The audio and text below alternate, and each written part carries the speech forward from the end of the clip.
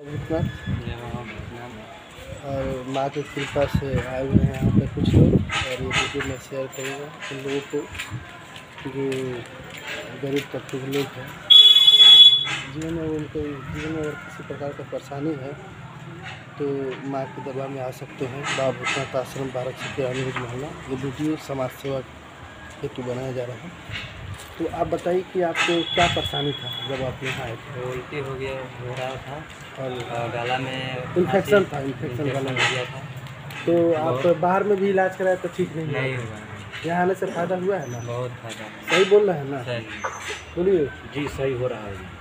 चलिए तो आप कुछ लोगों से कहिए कि अगर कोई भाई अगर परेशान है तो माँ के दरबार में आए कोई भाई अगर कोई चीज़ से परेशान है तो यहाँ बड़ा बाज़ार सब्ज़ी आए और इलाज कराए। छोटा हो गया छोटा हो हाँ। अच्छा, छोटा बाज़ार बाबा भूतनाथ जी के पास।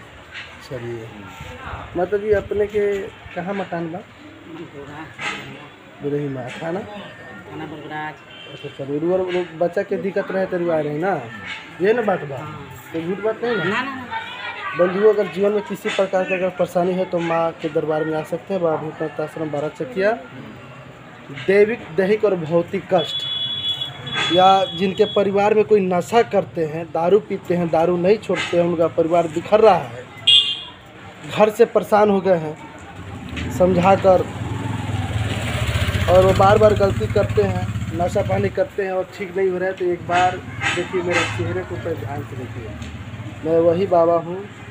जो बच्चा समझिए, संत समझिए, जो समाज सेवा कर रहा हूँ, मैं दावा ठोक दूँगा कि किसी प्रकार की अगर परेशानी है तो कल्याण होगा।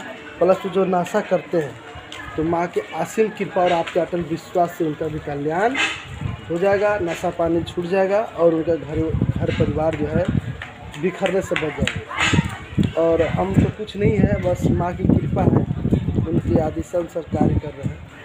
ये चेहरा भी, लोग का भी देख लीजिए, और भी लोग अंदर में है। वीडियो समाज सेवा के उद्देश्य से बनाया जाता है। और मैं चाहता हूँ कि ये लोग जाने इसके बारे में और सच्चाई के बारे में जाने। जय बाबूतनाथ जय माँ